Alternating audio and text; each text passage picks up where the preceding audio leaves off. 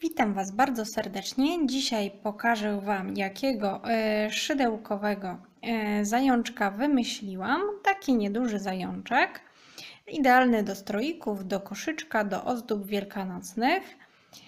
E, ja szydełkować będę szydełkiem 3,5 mm i jakąś resztką włóczki. Potrzeba na takiego zajączka niewiele, więc ja zawsze do takich projektów Wykorzystuję takie resztki, które często mam gdzieś tam zalegają bez etykiet. E, świetny pomysł e, na wykorzystanie takich właśnie resztek. Oczywiście materiałów możecie użyć innych, szydełka możecie użyć innego. Ja zawsze e, to jest włóczka, z której spokojnie i czwórką można by szydełkować, ale ja zawsze do takich maskotek wybieram raczej e, ciut mniejsze szydełka po to, żeby przy takich maskotkach wzór był bardziej zwarty, e, żeby wypełnienie nie uciekało. Tak więc do takiego króliczka będziemy potrzebować również wypełnienia, może to być wata, wata do maskotek, taka specjalna, może być spe, specjalny wypełniacz. Wszystko też zależy od tego, E, czy to ma być e, zabawka, czy to ma być do ozdoby. U mnie na zabawkę się nie nadaje, bo zrobiłam wąsy z takich drucików. Oczywiście tutaj oczka, buzia, wąsy to już e, jak uważacie, tak zrobicie. Ja Wam pokażę tylko jak zrobić samego zajączka. Ten mój wykonany poprzednio ma wysokość tak razem z uszami około 10 cm. E, ale ta wielkość króliczka zależy od tego, jakich materiałów użyjecie, ale około będzie e, około 10 e, kilka centymetrów, jedynie może dwa w tą, dwa w tą, jeśli użyjecie innych materiałów. Jeśli macie wszystko już przygotowane, to zapraszam Was do wspólnego szydełkowania. Rozpoczniemy sobie od wykonania główki. Będziemy robić magiczne kółeczko. E, ja robię je tak, że e, tutaj mam standardowo nitkę wokół wskazującego palca, a tą końcówkę muszę owinąć sobie wokół środkowego, czyli kładę na środkowym do tyłu i z góry przekładam sobie e, tak, aby skrzyżować nitkę. To miejsce skrzyżowania przytrzymuję kciukiem i to będzie moje magiczne kółeczko. Muszę tylko wkuć się pod tą pętelkę która powstała na e, palcu środkowym, nawinąć nitkę i przełożyć pod pętelką. Teraz przełożę jeszcze jedno oczko. Na tym kółeczku będę pracować. E, rząd pierwszy rozpocznę od jednego oczka łańcuszka i postarajcie się, żeby to było dość luźne oczko, gdyż potem na końcu rzędu będzie ciężko Wam się w nie wkuć. To luźne oczko będzie zastępować nam pierwszy półsłupek. Teraz zrobimy 5 półsłupków. Jeszcze oprócz tego e, oszukanego wkuwamy się e, znowu pod pętelki, pod te obie pętelki, czyli i pętelkę i tą końcóweczkę nitki, którą trzymamy kciukiem. Wkuwamy się, nawijamy przez to, co się wkuliśmy, przez dwie. To jest nasz drugi półsłupek i znowu wkuwamy się przez to, co się wkuliśmy, przez dwie Wkuwamy się przez to, co się wkuliśmy, przez dwie i jeszcze dwa razy. O, w sumie mamy 6 półsłupków, czyli 1, 2, 3, 4, 5 półsłupków i to takie luźne oczko, które zastępuje e, jeszcze jeden półsłupek. Wyciągam teraz e, palec z pętelki i pociągam za tą końcóweczkę, tak aby pętelkę zniwelować. Teraz zakończę pierwszy rząd, wyciągnę e, szydełko z pętelki, wkuję się od spodu w to pierwsze oczko, które kazałam zrobić luźniejsze. Jeśli ciasno zrobiliście, teraz będzie ciężko się w to oczko wkuć. Wkuwam się w to oczko, nakładam na szydełko z powrotem moją pętelkę i przeciągam ją na spód robótki. O, w ten sposób zakończyłam Pierwsze okrążenie, mam w nim 6 półsłupków. E, drugie, zaczynam znowu sobie już normalnie, wkładam szydełko w pętelkę, trochę ją skrócę i znowu zaczynam od oczka łańcuszka, które będzie pierwszym półsłupkiem. Teraz muszę wkuć się e, w kolejne oczko, czyli będzie e, w ten drugi półsłupek poprzedniego rzędu. Wkuwam się, robię półsłupek. Wkuwam się jeszcze raz w to samo oczko, robię drugi półsłupek. Wkuwam się w kolejne oczko, tu również wykonam dwa półsłupki. Pierwszy i drugi. W kolejnym oczku również dwa półsłupki. Pierwszy, jeszcze raz w to samo oczko. Drugi półsłupek. I tak sobie robię w każdym oczku dwa półsłupki w każdym oczku poprzedniego rzędu. I jeszcze zostało mi ostatnie oczko. Tu również robię dwa półsłupki. Ok, i teraz tu na początku z pierwszego oczka wyszło mi oczko łańcuszka zastępujące pierwszy półsłupek, a ja w każdym oczku chcę mieć dwa półsłupki, więc teraz jeszcze raz wkuwamy się w to pierwsze oczko i tutaj do, dorobimy ten jeszcze jeden półsłupek, tak aby w sumie było tu 12 półsłupków, licząc razem z tym pierwszym oszukanym, czyli tym oczkiem łańcuszka, którego zastąpiło. I znowu na końcu rzędu wyciągamy e, szydełko z pętelki, wkuwamy się od spodu w to oczko zastępujące pierwszy półsłupek.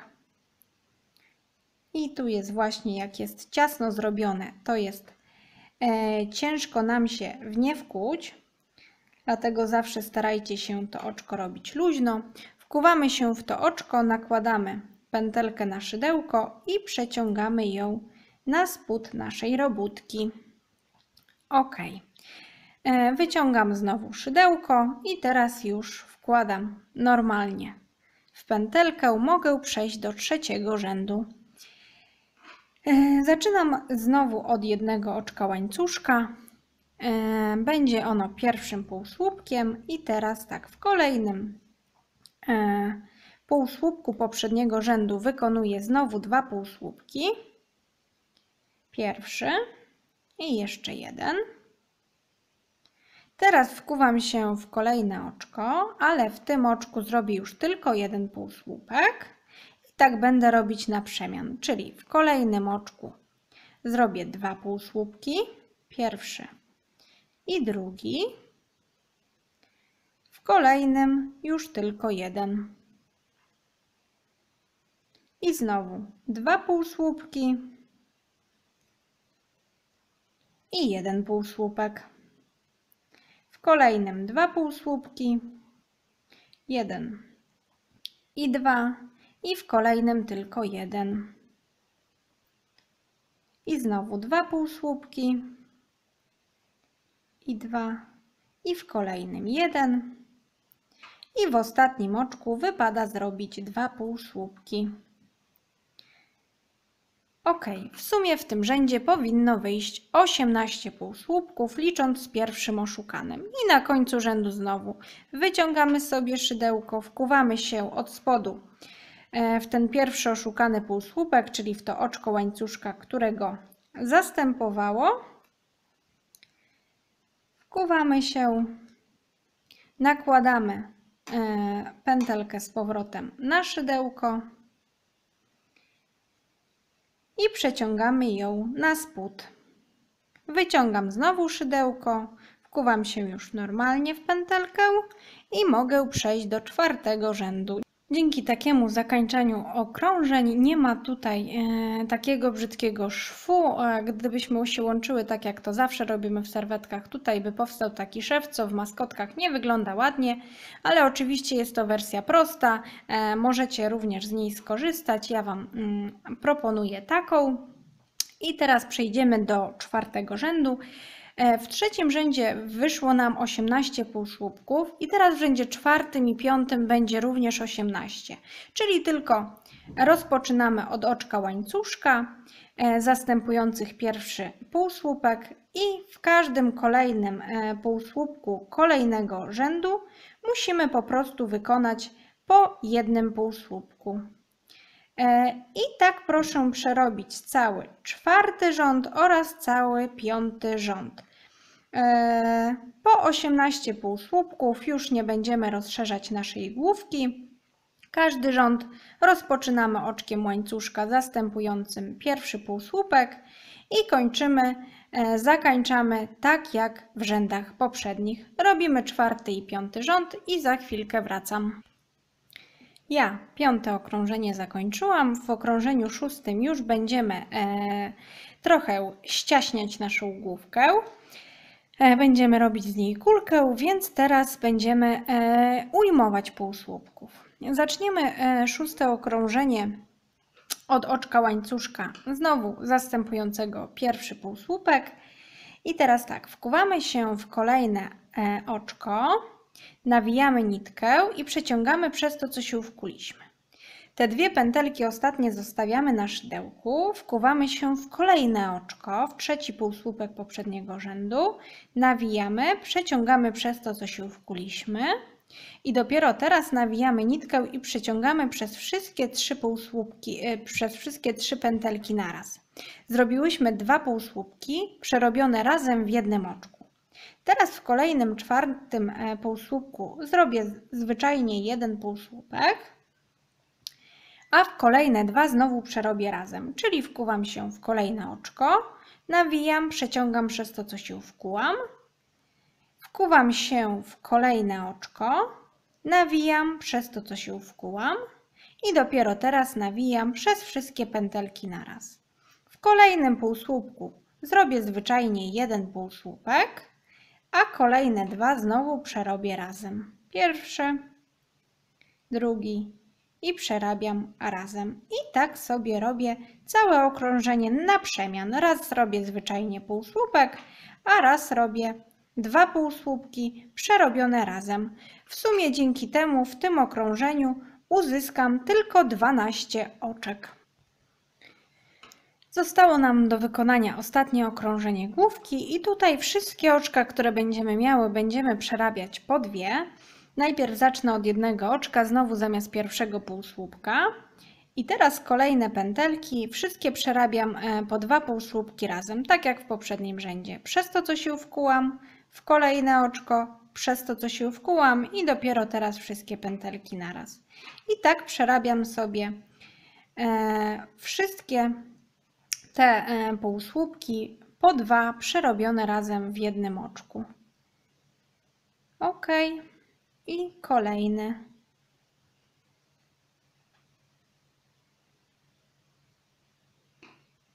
Dwa półsłupki przerobione razem w jednym oczku.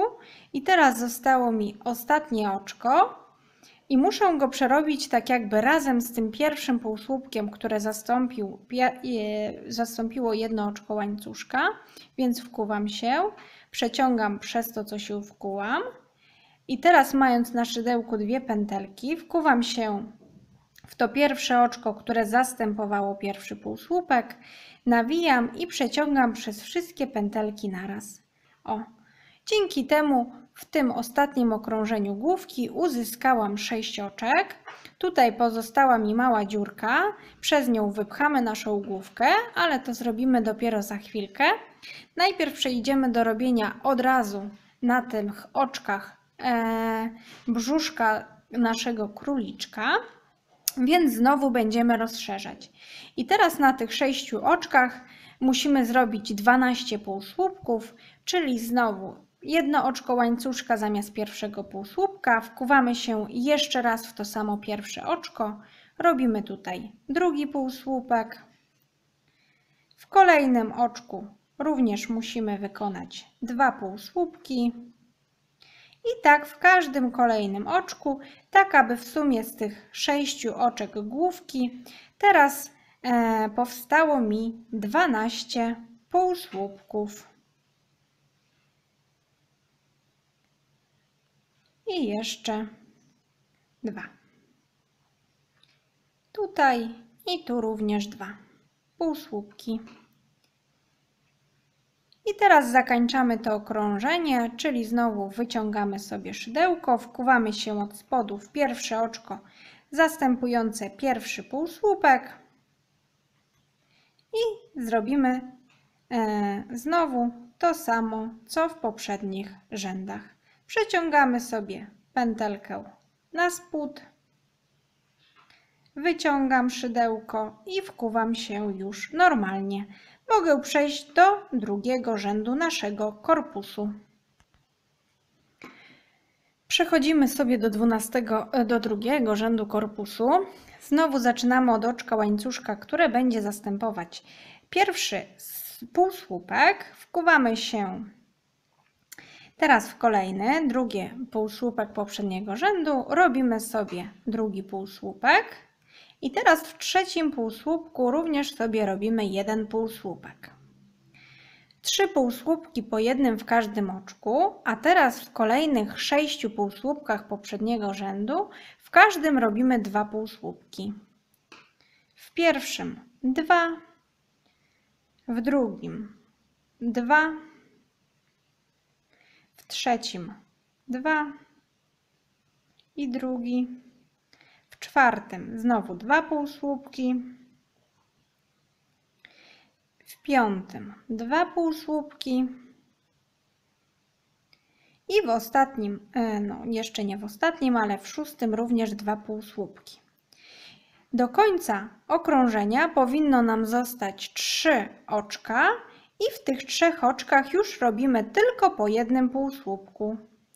Pierwszy, drugi i trzeci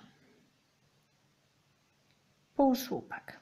I teraz możemy znowu połączyć się z początkiem, wyciągamy szydełko, wkuwamy się od spodu w to pierwsze oczko, nakładam z powrotem pętelkę i przekładam ją na tył robótki. Znowu wyciągam szydełko i wkuwam się już normalnie w moją robótkę. Mam wykonane dwa rzędy mojego korpusu. W taki specyficzny sposób będziemy robić, tak aby przód zajączka nam się nie rozszerzał, a rozszerzał się tylko tutaj tył.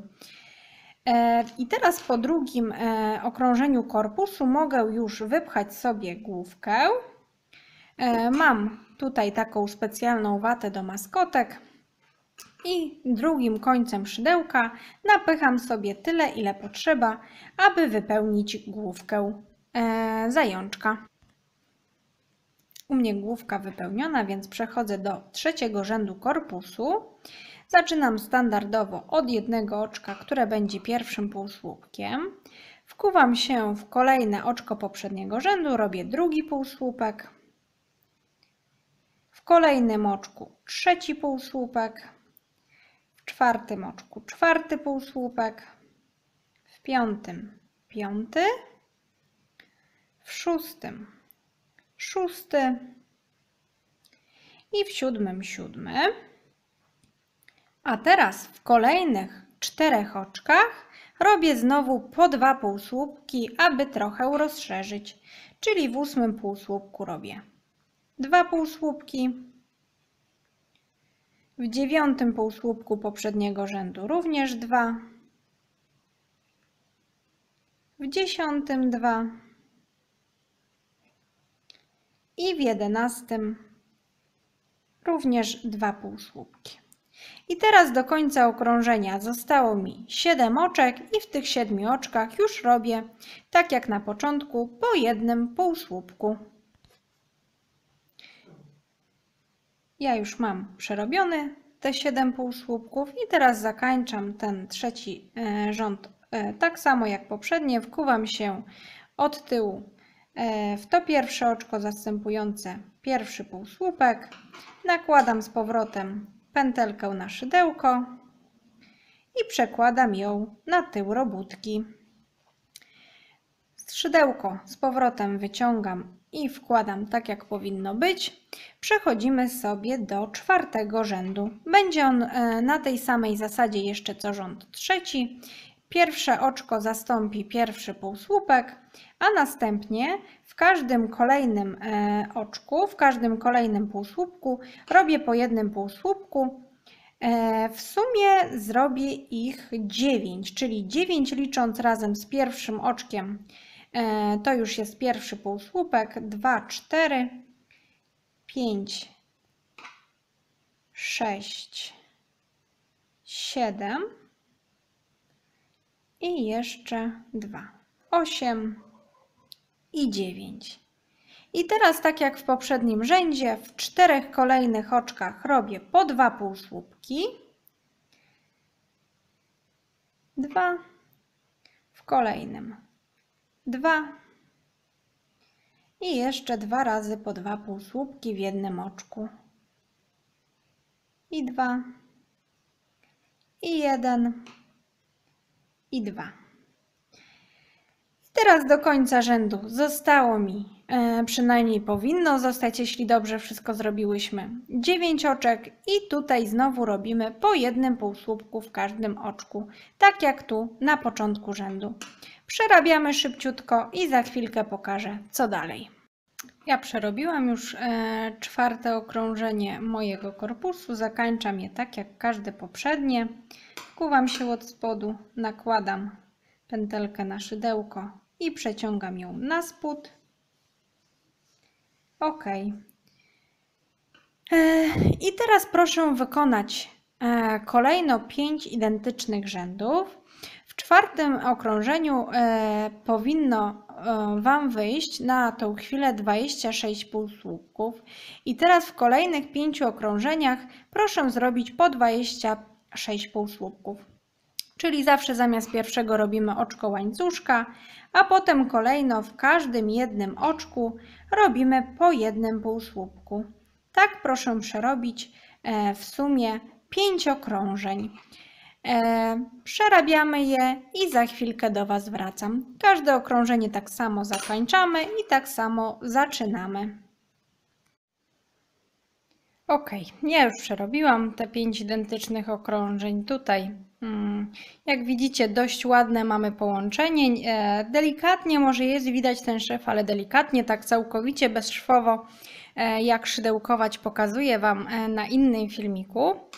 Ale jest to metoda, w której przesuwamy się z każdym okrążeniem o jedno oczko, a ja nie chciałam już tutaj mieszać z uwagi na to, że tak specyficznie się rozszerza. Więc taką metodą łączymy w tym króliczku. I teraz e, będziemy już króliczka zakańczać, zwężać, tak więc teraz będziemy robić, e, przerabiać sobie po dwa półsłupki razem. Oczywiście zamiast pierwszego robię jedno oczko łańcuszka, a teraz każde kolejne dwa, tak jak już to było przy główce, już znacie, przerabiamy sobie po dwa półsłupki razem. Wkuwamy się w jedno oczko przez to, co się wkuliśmy. Wkuwamy się w kolejne oczko przez to, co się wkuliśmy, a następnie wszystkie pętelki naraz. Tak proszę przerobić całe to okrążenie. Będziemy już powoli naszego króliczka zakańczać. Mam już prawie całe okrążenie. Tutaj na końcu zostało mi E, wolne jedno oczko i teraz muszę znowu przerobić je razem z tym pierwszym, czyli wkuwam się w to ostatnie oczko, które mi zostało, przeciągam przez to, co się wkułam i teraz zostawiając dwie pętelki na szydełku, wkuwam się w pierwsze oczko, które na początku tego rzędu zastępowało mi e, mój pierwszy półsłupek. Nawijam nitkę i przeciągam przez wszystko, co mam na szydełku. Kolejny rząd będzie wyglądał tak samo jak pierwszy. E, robię sobie jedno oczko łańcuszka, a kolejne pętelki, e, kolejne oczka będę znowu przerabiać po dwa. W pierwszym i w drugim i dopiero przez wszystko naraz. Muszę sobie e, zamknąć korpus mojego króliczka, więc przerabiam sobie wszystkie półsłupki po dwa razem. Mam już całe okrążenie, oczywiście znowu zakańczam je już zwyczajnie, wkuwam się w to pierwsze oczko, wkuwam i przeciągam przez wszystko, co mam na szydełku.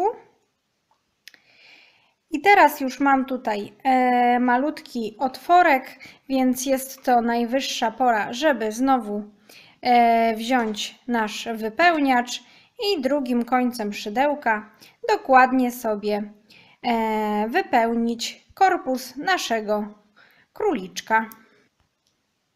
O, ja już wypchałam korpus, ładnie sobie e, kształtuję e, żeby miał króliczek ładny kształt i teraz znowu w kolejnym okrążeniu będziemy dalej zamykać, czyli znowu zaczynamy od oczka łańcuszka, a potem wszystkie e, oczka przerabiamy po dwa e, razem.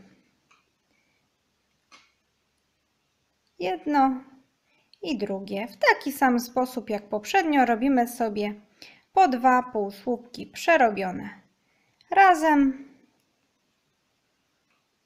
Ok. I teraz zamknęło nam się nasze kółeczko. Mogę tutaj się jeszcze wkuć po przeciwnej stronie, przełożyć przez wszystko, co mam na szydełku. O, i teraz robię jeszcze jedno oczko łańcuszka, wyciągam dłuższą pętelkę i mogę ją już przeciąć.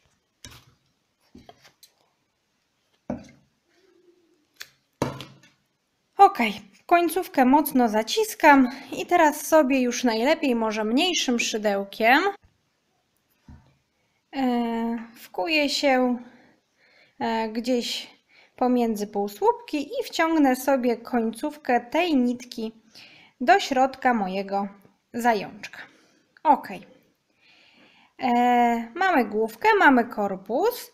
Teraz zrobimy puchaty ogonek. Zrobimy najzwyklejszy w świecie pompon. Ja wykorzystam do tego zwykłą kartkę papieru złożoną kilka razy. E, najpierw odetnę sobie kawałeczek mojej nitki, która posłuży mi do zawiązania pomponu. Włożę sobie ją tutaj w tą kartkę. Ok.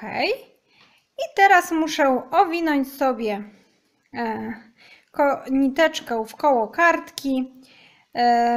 Myślę, że tak nigdy nie liczę, ale około 15-20 razy. E, w zależności od tego, oho, teraz to mi się rozwija. W zależności od tego, jak puchaty ma być nasz ogonek. Tak więc na wyczucie sobie zawsze owijam, robimy kuleczkę, końcówkę sobie obcinam i teraz wyciągam sobie tą końcówkę nitek, która była włożona w kartkę i muszę ją bardzo mocno zawiązać na dwa mocne supełki, jak najmocniej ściskając ze sobą e, te wszystkie niteczki, które tutaj nawinęłam. O, bardzo mocny supeł. E, można do tego użyć, jeśli wasza włóczka łatwo się rwie, można do tego użyć jak, jakichś mocniejszych nici, e, tak żeby się nie zerwały w trakcie zaciskania. Jak już mamy mocny supeł, ostre nożyczki i przecinamy sobie nasze niteczki. Ok. Mamy zrobiony pomponik. E, jeśli macie jakieś takie krzywe, wystające niteczki, możecie go oczywiście przyciąć, ukształtować. I teraz tymi dwoma końcówkami nitek e, musimy sobie, ja to znowu zrobię cieńszym szydełkiem, e, przywiążemy sobie o, muszę uważać, żeby nie wyciągnąć wypełnienia. No i że teraz to, żeby mi się nitki nie pomyliły. Ok. I zawiążę sobie mocny supeł albo dwa, tak żeby przywiązać mocno mój ogonek.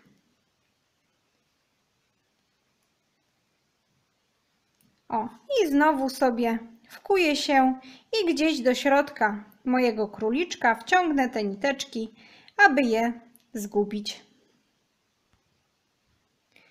Ogonek już mamy, ale to jeszcze trochę za mało, żeby e, nasz króliczek był króliczkiem. Króliczek musi mieć uszy. E, więc teraz zrobimy sobie takie uszy.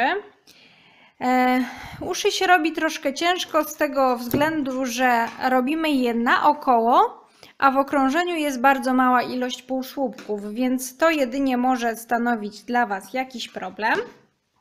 ale za to dzięki temu są tak zrobione, że nie trzeba ich niczym wypełniać i niczym usztywniać, tylko ładne, e, stojące od razu powstają nam uszka. E, znowu sobie zrobimy magiczne kółeczko. Tak jak poprzednim razem, wkuwamy się. OK. I teraz robimy znowu jedno oczko łańcuszka zastępujące pierwszy półsłupek, a następnie jeszcze trzy półsłupki w tym naszym magicznym kółeczku.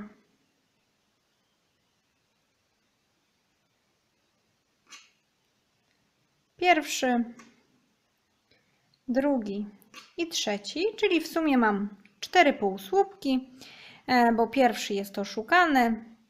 I teraz ściągam sobie pętelkę. E, ta nitka jest troszeczkę dłuższa, ona mi się przyda potem do przyszycia uszu, tak ją zostawię. I teraz znowu muszę się połączyć z początkiem, czyli wkuć się w to pierwsze oczko, które miało zastępować mi pierwszy półsłupek. Wkuwam się, nawijam nitkę i przeciągam przez wszystko, co mam na szydełku. I na tym małym kółeczku będziemy pracować. Musimy zrobić drugi rząd, w którym również będzie tylko cztery półsłupki. Zamiast pierwszego oczko łańcuszka i teraz no właśnie, na takim małym kółeczku musimy zrobić sobie tylko cztery półsłupki, trzy i cztery. I teraz zakańczamy sobie. Znowu muszę znaleźć to pierwsze oczko, które zastępowało pierwszy z tych półsłupków. Nawijam i przeciągam przez wszystko, co mam na szydełku. I robimy kolejny rząd. Identycznie robimy E, trzeci rząd zamiast pierwszego półsłupka oczko łańcuszka, a następnie jeszcze trzy półsłupki. O, ja już mam ten trzeci rząd i teraz znowu muszę się połączyć z początkiem, czyli z tego oczka, tutaj jeszcze wydaje nam się, że jeszcze byśmy zrobili półsłupek, ale z tego oczka to wychodzi już e, to oczko, które zastępowało pierwsze półsłupek, więc teraz wkuwam się w to oczko. E, I znowu tutaj powtarzam, jak je zrobimy trochę luźniej, będzie się łatwiej w nie wkuć potem. I robimy oczko ścisłe zamykające, czyli przeciągamy przez wszystko, co mam na szydełku. E, czwarty rząd będzie już odrobinkę luźniejszy, to znaczy znowu jedno oczko zastępuje pierwszy półsłupek. Wkuwamy się teraz w kolejne oczko i w nim zrobimy dwa półsłupki. Pierwszy i jeszcze raz w tym samym oczku drugi.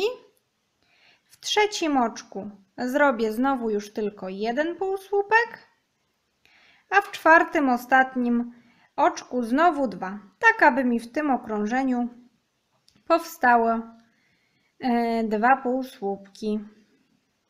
Pierwszy i drugi. I teraz zakańczam to okrążenie. Znowu wkuwam się w pierwsze oczko zastępujące pierwszy półsłupek i przeciągam przez wszystko, co mam na szydełku. Cztery rzędy e, naszego ucha. Zróbmy jeszcze jeden identyczny jak poprzedni, to znaczy robimy sześć zwykłych półsłupków. Pierwszy zastępuje oczko łańcuszka, a następnie w każdym półsłupku e, poprzedniego rzędu robimy po jednym półsłupku. Takie malutkie okrążenia. 1, 2, 3, 4, 5. Jeszcze jeden półsłupek mi został do końca. I mam szósty półsłupek. Zakańczam znowu tak samo jak poprzednie rzędy. Wkuwam się w pierwsze oczko zastępujące pierwszy półsłupek i przeciągam przez wszystko, co mam na szydełku. Nasze ucho jest gotowe, więc przełożę jeszcze jedno oczko łańcuszka. O, wyciągnę dłuższą pętelkę i mogę ją już przeciąć. Ok, mam dwie niteczki e, celowo zostawione od tego pierwszego, ta, która wychodzi ze środka ucha, ją E, przełożę sobie tu po przeciwległej stronie tej e, niteczki zakańczającej, przełożę sobie przez oczko, tak żeby nie wychodziła ze środka ucha, tylko przechodziła przez oczko. Ok. I teraz sobie tymi od razu niteczkami przywiążę ucho do mojego króliczka. Czyli znowu biorę sobie to swoje cieńsze szydełko, bo takim jest wygodniej. I muszę sobie przełożyć te niteczki. E, najpierw muszę sobie zaplanować, w którym miejscu mniej więcej ma być to ucho.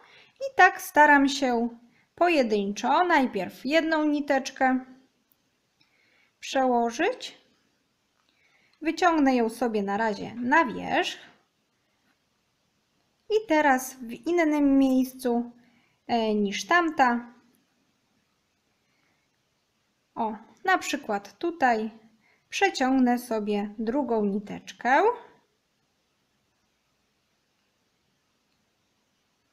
Niteczki e, są wprowadzone w innym miejscu, ale wychodzą mi, jak widzicie, w tym samym oczku, bo ja je zaraz z powrotem schowam. Tylko zanim to zrobię, to mocno zawiążę sobie znowu dwa węzełki.